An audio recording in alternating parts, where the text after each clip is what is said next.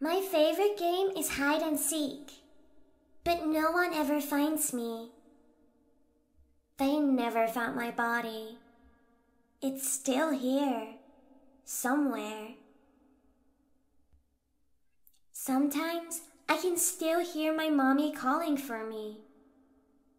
Would you like to see where they buried me? Did you feel that? That was me touching your hand. I'm always there, even when you can't see me. But they say if you look in the mirror at midnight, you can see me.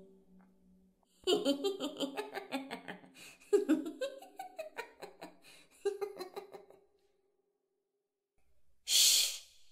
Be quiet. You don't want them to hear us, do we? Don't turn off the lights. That's when they come. Can you hear the whispers? They're calling out your name. I'm afraid it's too late for you, too. But perhaps this does mean we can be friends. Forever.